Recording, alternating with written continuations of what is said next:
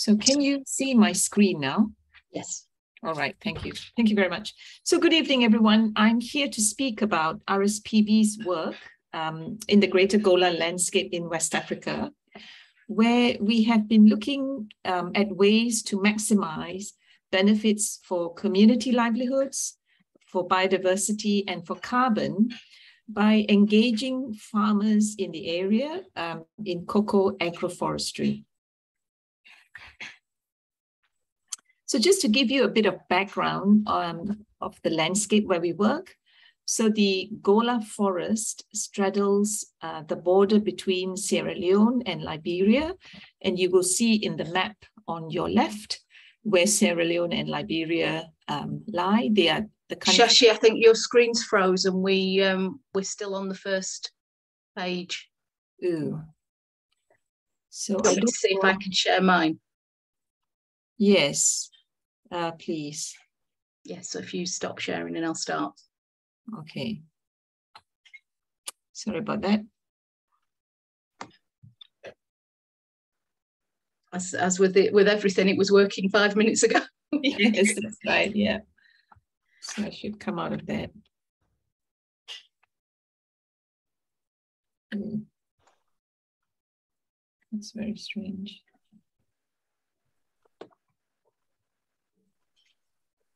Okay, so we're now on the uh, the map. Second slide, yeah. Okay. So if you see on your map, just give me a minute, yeah. I'm trying to get it on my screen. Hmm. Technical problem. Okay, so if you see it on, on, on the map, you will see, sorry, I'm just going to take a minute to just find it on my screen because it's just, I can't see what I'm looking at. Hmm.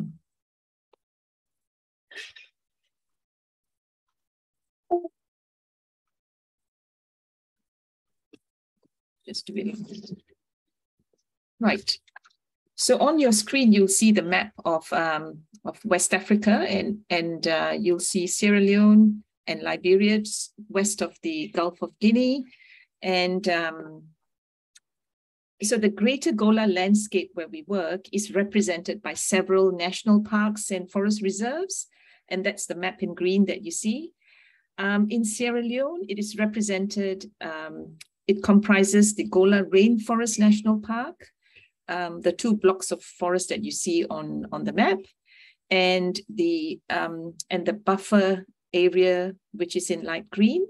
And in Liberia, it is represented by the Gola Forest National Park, the uh, Foya proposed protected area, and the adjoining community forest around these two, um, the national park and the forest reserve. Um, so the next slide then. More recently, uh, we have included the Kambui Hills Forest Reserve uh, as part of the Greater Gola landscape.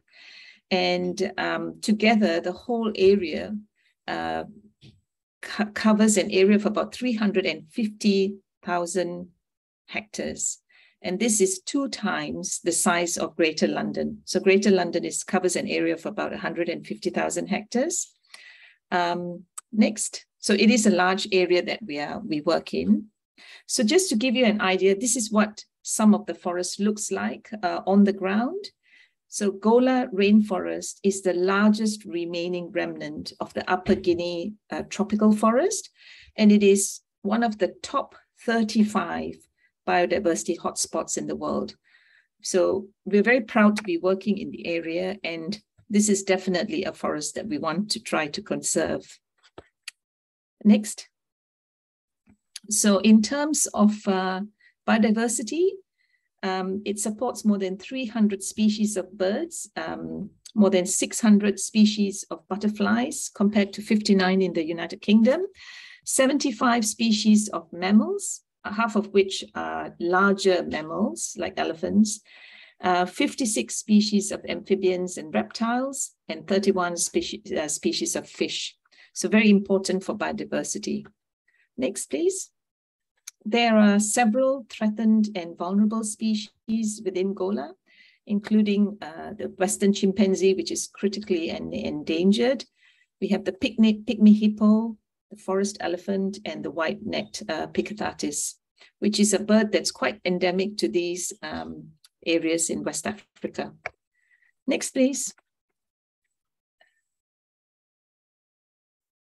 Yeah, so the RSPB support for GOLA sits within a broader program of work, namely the REDD Plus program, which is reducing emissions from deforestation and degradation of forest. And we are very proud that this is the first REDD Plus project um, in West Africa.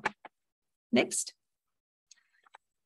There are three main areas of work in the REDD Plus program, which uh, help facilitate a net positive benefit for climate. The first is um, the strengthening of the conservation and effective management of the Gola Rainforest National Park in Sierra Leone. Next. So secondly, um, we work to ensure the sustainable management of the national, the natural resources around the national park. And this is really to enable the local people to become environmental stewards of the natural resource that's found in the area that underpins their livelihoods. And this program is, is um, implemented through education, capacity building, land use plan, uh, planning, and activities that enhance the social and economic benefits um, of forest and the agricultural land in the area. Next. The third component is uh, research and monitoring.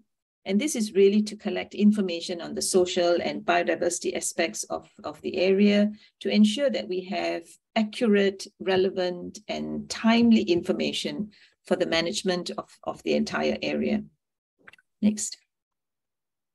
In Sierra Leone, the REDD Plus program is implemented through a partnership. This is between the government of Sierra Leone, the Conservation Society of Sierra Leone, which is the BirdLife uh, partner in country, um, and, com and community elected um, representatives, representatives, and of course the RSPB. And we and this is done through the uh, an organization called the Rainforest uh, Gola Rainforest Conservation Limited by Guarantee, which is a non-profit organization or GRC for short. Next. So the Gola Rainforest National Park is an area of about 70,000 hectares, and this helps us to reduce global carbon emissions by about 700,000 tons annually. The area also supports 122 forest edge communities. Um, you will see the red dots on the map, and these are the villages dotted around the national park that we work with. And the activities that we do with the communities include um, savings and loan schemes, education and awareness programs. Um, and we also provide agricultural support for farmers, um, including cocoa. And the cocoa program is carried out outside of the protected area um, uh, in the four kilometer buffer of the national park. Next. So why cocoa? Why are we working with cocoa? I mean, a lot of people say that we are a conservation organization. We should be focused on biodiversity. Um, so there are several reasons why we work with uh, with cocoa. The first is that cocoa had been a major export of Sierra Leone in the 1980s. So there was familiarity with working with cocoa in the country and with the farmers in the Gola landscape. Um, much of the infrastructure was also there in place, um, even if, you know, through the war, the, through the long period of civil war, some of the skills and knowledge for uh, cocoa planting, of cocoa production had been lost, but there was still a lot of um, infrastructure. Um, from a biodiversity point of view, cocoa is a shade tolerant crop, which makes it a good crop for agroforestry and for biodiversity. There was also a desire from the forest edge communities to work with cocoa as their parents and grandparents had themselves been cocoa farmers. So it was seen to be a, a good thing to be working with cocoa. And lastly, um, there was still a good com- a good demand for, for cocoa, for more cocoa globally. And the cocoa from Gola could feed into this niche uh, market that we were looking at. Next. So just to give you a bit of background about the world of cocoa, um, cocoa supply, the, the global supply for cocoa comes from three regions, South America, Southeast Asia, and West Africa.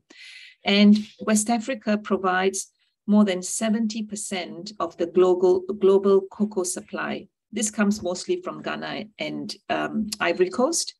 So the demand for global cocoa has been on, on the rise for a, for a while, about 1% growth uh, annually. Um, and also we notice that cocoa is expanding in South Sahara Africa uh, by about 130,000 hectares annually. Um, but in most of these areas, sun-tolerant cocoa tree varieties have been used. And this, of course, poses a threat to forested areas. Um, the other important fact is that more than 90% of cocoa that is being produced in the world come from smallholder producers. Next. So bearing these facts in mind, the RSPB embarked on a program to help develop uh, Gola forest-friendly cocoa, which is guided by three, um, by triple, by the triple win standards which is that it needs to provide benefits for farmers and improve their livelihoods. It needs to create a forest-like habitat for habitat for wildlife to support biodiversity, and it needs to satisfy consumer confidence in a sustainable product. So we're currently working to define these standards for the Gola cocoa farmers, and we're also initiating work to design and pilot agroforestry, uh, cocoa agroforestry models that hit this sweet spot of maximizing livelihoods, biodiversity, and carbon benefits. And the hope is that once we get the right models, we will then look to upscale these models across the landscape. Next. The Gola Cocoa program currently supports um, the entire cocoa value chain that is from, from the tree or the, the cocoa bean to the production of chocolate bars. It helps communities establish nurseries, for example, rehabilitate uh, cocoa farms, um, and also provides farmers with the right equipment. Um, for example, mats and baskets are provided to ensure that there's proper fermenting and drying of cocoa in the villages. There are central, centralized collection centers um, for storing cocoa in the villages. And once they are, once the cocoa is brought to a larger warehouse in the town, it is then sorted and fumigated against diseases.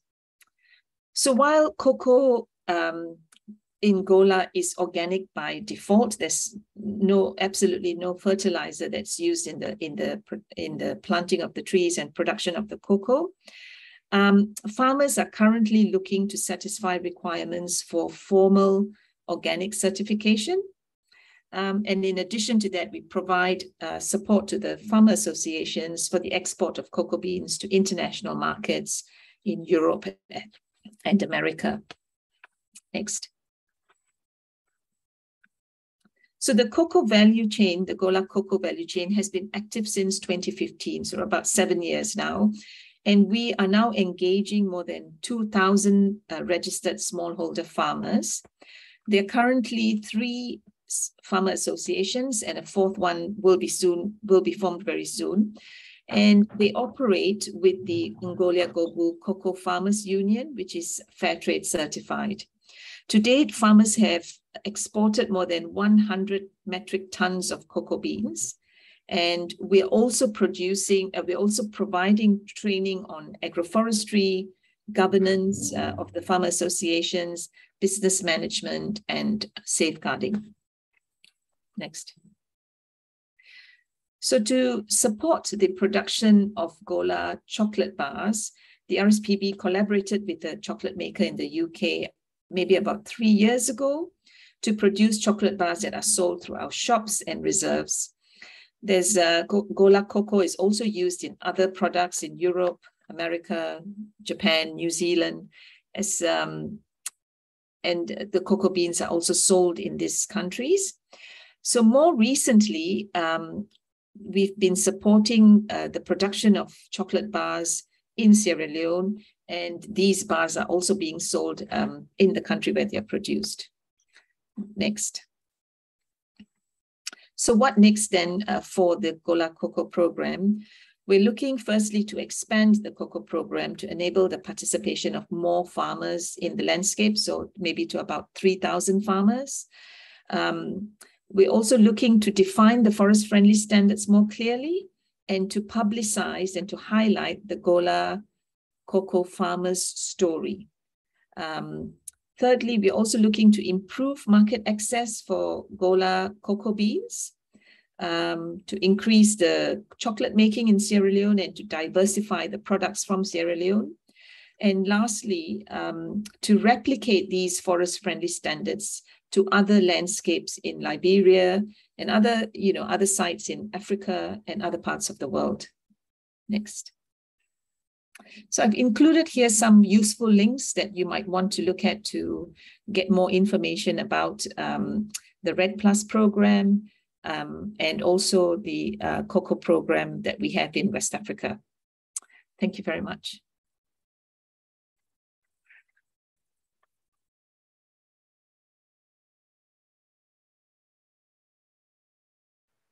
Thank you, Shashi. That's really interesting. Um, I'll be um, I'll be sharing this presentation with if, if, it's okay. I'll share the presentation with everybody that booked um, via a, a, Google Drive link, so you'll be able to download and, and, and look at obviously all the links, but also the the um, facts and figures if, uh, if they're useful to you.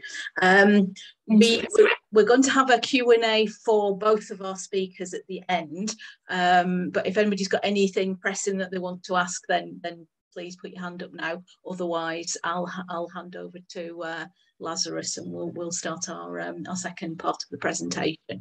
Uh, so we're moving away now from West Africa, we're moving to East Africa, um, to Uganda, and moving away from cocoa to to coffee. Um, so. Welcome, Lazarous. Good to see you. Hello, uh, good evening, everyone. My name is Lazarous, and I'm glad to be here. Uh, I'm joining the call with uh, my colleague. He's going to introduce himself, and we have a brief presentation to make to you about what we are doing in Uganda. Peter. Okay, uh, thank you, Lazarous. Thank you, everyone uh, on board. Thank you for this meeting.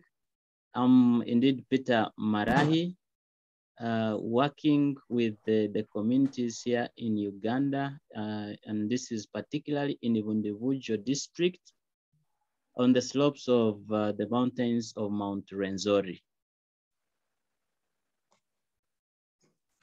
Back to you, Lazarous. All right.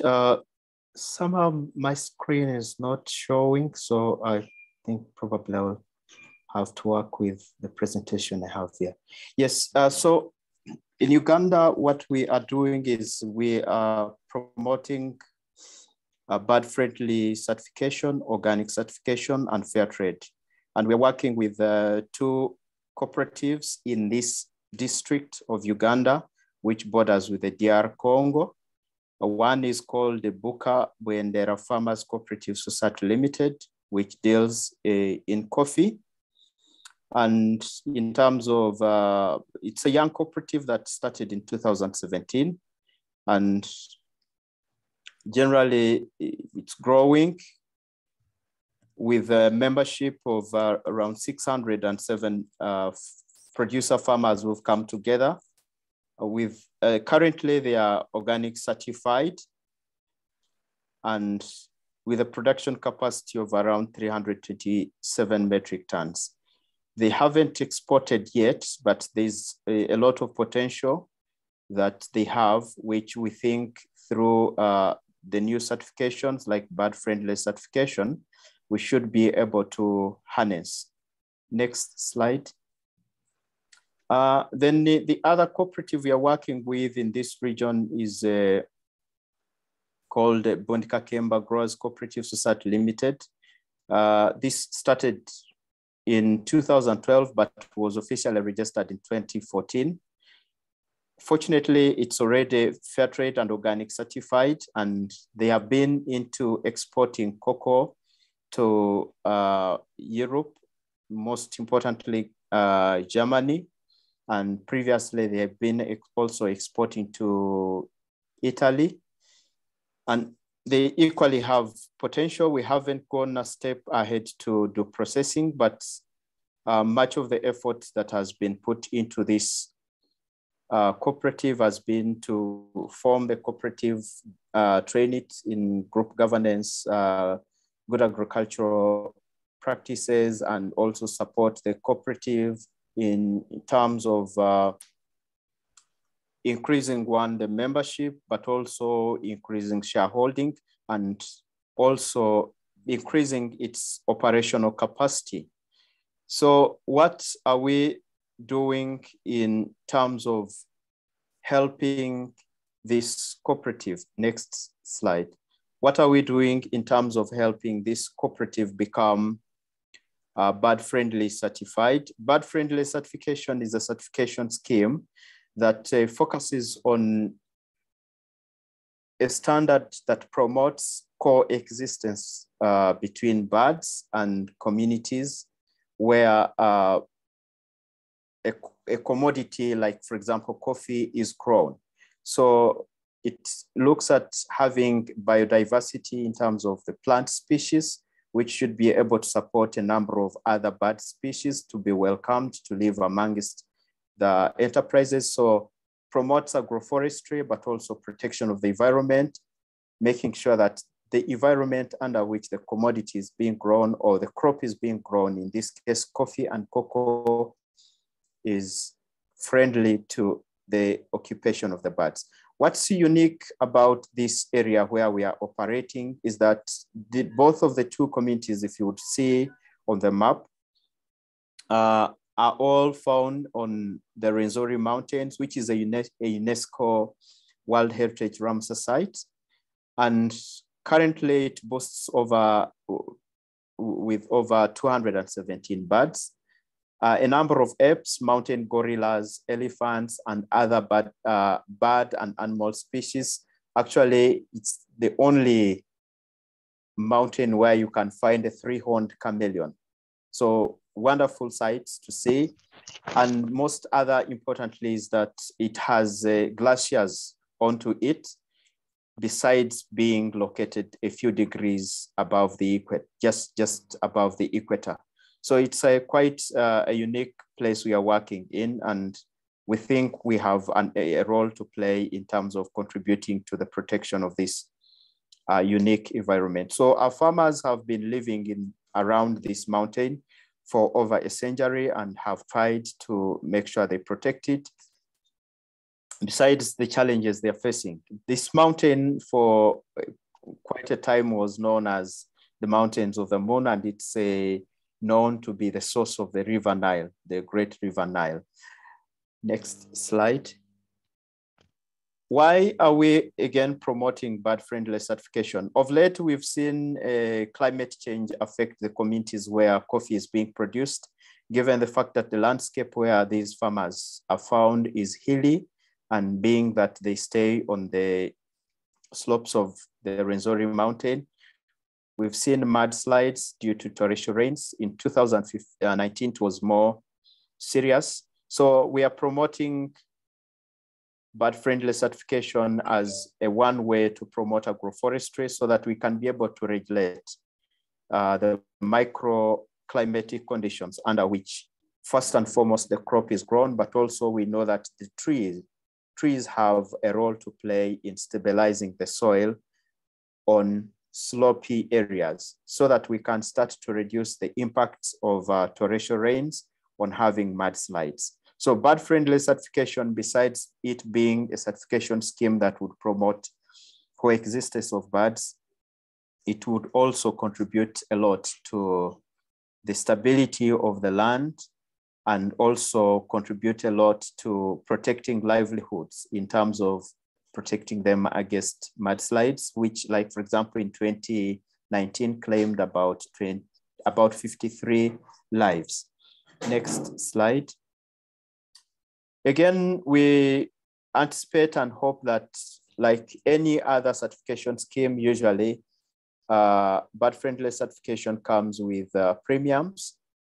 So we are sure that once we get certified, we should be able to see premiums coming in to help these communities support uh, their children go to school, probably do community projects like uh, establishing schools. We know that for where already organic certification is happening and fair trade certification is being uh, is being practiced, we've seen parents get increased incomes that have managed to help them send their children to school. We've also seen a movement that is supporting girl child education, where uh, producers are self-mobilizing, not relying on aid, but using their own income to send their children to school and keep them in school. So we think bird-friendly certification will promote, besides the environmental protection role, will also contribute to this. Next slide. Uh, we are already progressing.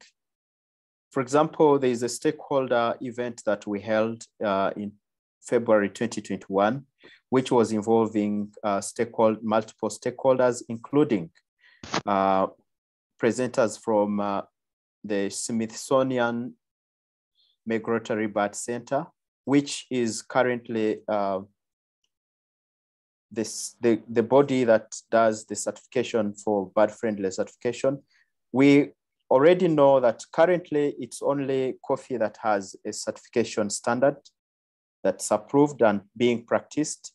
So we are working with the, the Smithsonian Migratory Bird Center to see if we can become part of the pilot project that will develop a standard for bird-friendly certification under cocoa. Uh, I personally participated in a pre-audit exercise and shared with uh, a team at the Smithsonian Migratory Bird Center, and they told us that already the results we have in terms of canopy are promising. And so we are quite certain that if we invested more effort, more resources into this, the farmers should be able to reap the benefits.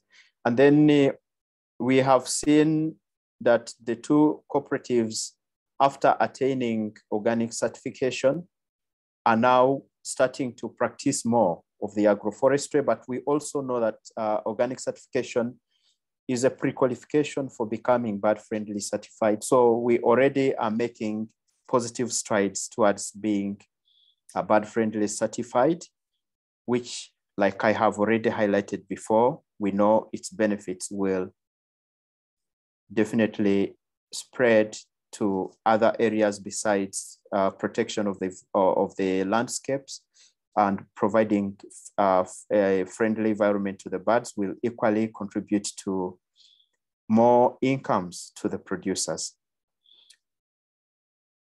In addition to organic certification, the stakeholder event that we held, and also the awareness creation that we are, you, uh, we are making, we have also established community-based nursery beds so that we can, one, increase the tree population and also to build local capacities so that in case, for example, this program ended, the local communities should have and should have the urge and should have the knowledge to establish their own nursery beds.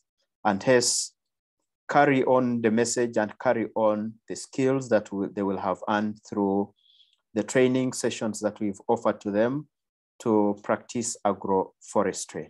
And also to make sure that for the farmers that have not yet attained the minimum standard, which is 40% canopy, can be able to, over time, start to up, uh, upgrade their farms in terms of having trees that are of diverse species, but also that can offer canopy that's up to 40%.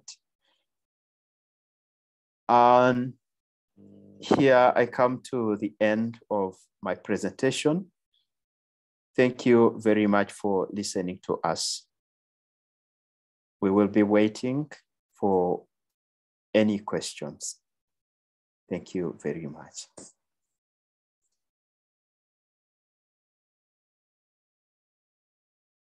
Thank you, Lazarous. Really interesting. Um, so, if does anybody have any any questions? I think I've got my question actually relates to an event that we did last Thursday.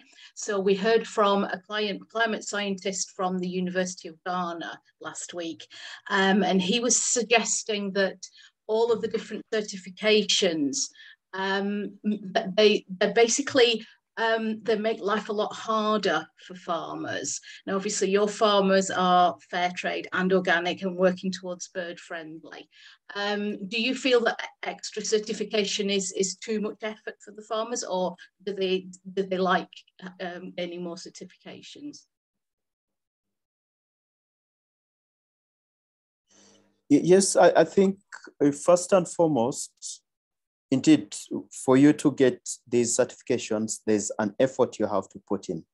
But in terms of uh, the long-term benefits, yes, it's worth the investment because uh, we've we've seen situations where, for example, uh, farmers in Ghana earning less money because they are using chemicals as compared to the farmers in Uganda. Actually, we've gotten visitors who've come and say, how come your farmers in Uganda don't complain about prices like those in Ghana? We know where the secret lies. The secret lies in the fact that the producers, for example, those that are producing coffee here or producing cocoa here, are by default organic, but also they pride in being organic because they know that at the end of the day, them being smallholder farmers, the use of uh, synthetic chemicals is in the short run, yes, commercially viable, but in the long run, there is that dependency that comes with it. And also when you look at, for example, uh, the use of GMOs, it, there's a reliance that you would have to conform to because the breeders must keep giving you new seedlings or new seeds season in, season out. And these come with uh, uh, changes in terms of like adaptation, pest and disease resistance. Our farmers are not complaining yet because they are enjoying, they are reaping the benefits in terms of environmental benefits, in terms of uh, the high incomes, but also in terms of the premiums. For example, we've seen the cocoa cooperative start to become self-reliant and they are now starting to uh, self-run projects. Like for example, recently They've acquired a piece of land out of the premiums. They've been supporting food security projects where they get uh, seedlings and, uh, uh, for example, food, food seed, like cassava seedlings, cuttings, and they distribute to their farmers.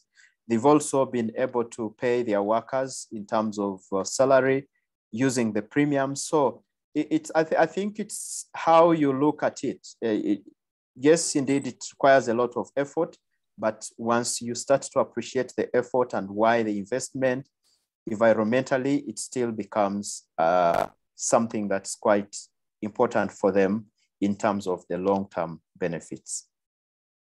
Yeah, that's great. Um, so Shashi, I wanted to bring you in just with a question about the um, your, the cocoa farmers that live obviously adjacent to the rainforest. Mm. This, this, event we've called it sort of for people and planet. Do you feel that there's ever any tension between the, the farmers wanting to sort of do their own thing and being next to a, a protected area? Do you feel that the, the um, that they might want to do something that uh, that wouldn't necessarily be in the interests of the um, the, the forest life and the bird life? Um, yes, definitely. That is uh, that is um, uh, you know it is a challenge that we we face certainly. Um, I think you will find with a lot of uh, local communities that live adjacent to national parks and other protected areas, they they have a history of depending on these on the resources of the national park the forested area close to them for a lot of their basic needs. Yeah, I mean, they go into the forest to collect timber for building their houses, for example. Um, they, you know, they depend on the forest for their daily food you know different forest products that they use in their food and you know and once the national park or the protected area is established then their use of the of some of the products uh, from the forest is restricted. So as part of the REDD plus program that we have um, that has been running for a few years now in west africa or in sierra leone um, part of the REDD Plus program requires the organization GRC to look after the livelihoods of the local communities nearby. So our, our program looks to establish alternative livelihoods for the local communities so that they become less reliant on the resources within the national park and they become you know they adopt practices that are more friendly and sustainable for the long-term existence of the national park. And that's why, you know, the cocoa, the, the forest-friendly uh, cocoa that we are, the program that we are you know running in with the local communities in the area is so important because it helps them to earn a livelihood at the same time you know helps them to help protect the national park as well so there is there will always be this tension but i think we need to find that sweet spot you know that we've been talking about yeah. Certainly. Um, another question that came up lazarous when i was um, watching your presentation. Uh, you talked about the two cooperatives that you work with and one of them hasn't yet managed to export. So um, is there is there a market for your locally grown coffee in uganda? Are people buying it there Oh, yes. Uh, so maybe if I would uh, uh, make it more clear, uh, what they haven't exported is certif organic certified coffee. But the coffees they've been producing through the efforts of uh, Rwenzori Sustainable Trade Center, they are still able to export it, but they haven't exported it as organic certified coffee. Yes, we are starting to see uh, local consumption of coffee grow, but it's a, a developing market. It's not yet commercially viable for the cooperative to produce to sell locally. So all the coffee is exported. So it's not sold on sort of organic fair trade, bird friendly terms. So presumably you would get a sort of market price for that rather than the, uh, the premiums that come with the certifications. Yes yes, so that's that's where it's really important that we're choosing fair trade in uh, in, in the UK and beyond. Um, and Shashi, you mentioned that that you you they are actually producing chocolate for consumption in in Sierra Leone. How how's that going? yeah, so this is something that's just been started. We had a pilot um, a few years ago with a, a project that we had, and um, the the tricky bit about local um, chocolate production is that uh, in order for the chocolate to be brought to the United to the United Kingdom or to Europe for, for that matter, it will have to satisfy quite stringent um, food security uh, uh, regulations, and so it, it, it will be very difficult to uh, to import um, chocolate that's made in Sierra Leone or in other parts of West Africa into Europe and and the Europe and the American markets. And I think for that reason, if we are to be producing uh, chocolate bars in Sierra Leone, it will have to be for the local market, and in Liberia, we have um, we, we know of uh, craft chocolate bars that are being produced for the um, expat market in Liberia, but somehow in Sierra Leone, we don't have uh, as big a, a, market as, as big an expat community that looks to, to get uh, these kinds of chocolate bars. So it's an area of work that's developing and we are learning as we go along. Um, but maybe look out for orange flavored Gola chocolate bars from Sierra Leone in the future. You never know.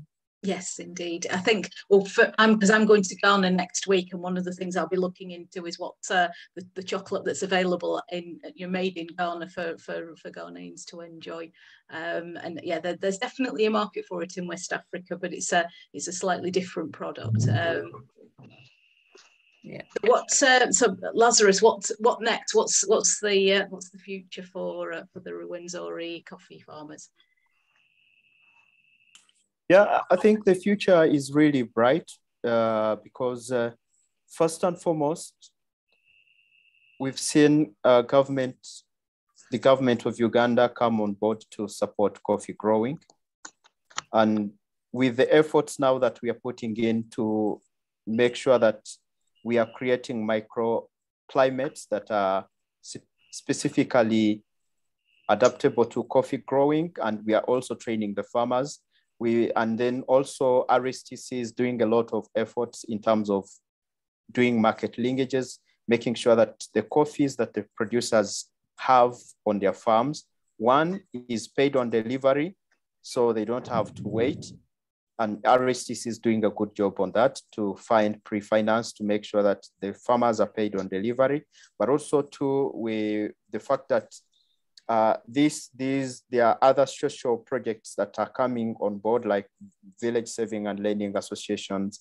We are also seeing the women do crafts uh, because uh, most of the times coffee is uh, more of like a male uh, crop. So the women are brought on board to also have their own income by making sure they are weaving crafts, and these crafts are also exported. So the, really, I can what I can say is that the future for coffee growing in Uganda is bright because government is distributing free seedlings. Uh, we've seen our own farmers, especially the ones in Buka, uh, start to multiply their own seedlings with the certification of government, which already is an indication that they still want to expand the acreage because they are earning money and they are earning a, a, eh, eh, uh, a living from growing coffee. But also with the new um, efforts to promote local consumption, farmers are starting to appreciate coffee as a beverage they previously used not to. And so we are starting to see all these come in to play a role. And we think production of coffee, yes, going to increase, but also too, we are going to see the farmers earning more from their coffee because Uganda is starting to be flagged also on the international market as one coffee destination. So these are all positive steps that we think surely will have to certainly make the producers grow more coffee. Yes, and and obviously the more the more they grow and the more they sell on yes, fair trade organic certified terms, then the the uh, the brighter the the brighter it looks. Uh, that's that's really really positive. It's so nice to have some some good news. Um, Shashi, what's um, what's next for the the Gola Rainforest project? Where where are the farmers going with it next? So I think I, I said that in my presentation. I'll just say it again. Um, so the first thing we want to do is we want to, so there are seven chiefdoms involved in the whole of the greater Gola, uh, the uh, Gola in Sierra Leone. And we, at the moment, we work with uh, three or four chiefdoms um, in the area. So what we'd really like to do is to expand the whole cocoa program to cover all of the seven chiefdoms. And we think that if we do that, we would get about 3,000 farmers on board um, involved in the in the farmer associations. So that's something that obviously will require a lot of um, awareness raising, um, it will require a lot of distribution of, you know, equipment for the farmers to, to ensure that they can actually rehabilitate their farms. Um, and also then the su support through buying capital and export to the international markets. It, it's, it's quite a lot of work. Um, the second thing that we want to do is really to define what we mean by uh, forest-friendly cocoa. Obviously, uh, because we are dealing with farmers that live so close to the national park, um, we want to, we want them to be supportive of the activities in the national park, and we want to tell the story of how these farmers are helping us with you know biodiversity conservation. And I think through the through that you know to appreciate that these these far cocoa farmers are producing cocoa under quite different circumstances you know not clear for not clearing forests for their livelihoods but you know helping to support these biodiversity conservation efforts and at the same time to use methods that could help to improve their livelihoods and i think that's the story that we want to get out um, you know, from, from Gola.